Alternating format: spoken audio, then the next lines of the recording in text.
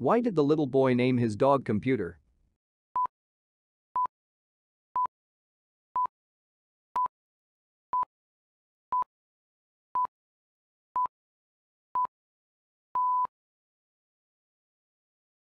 Because it came with lots of bytes.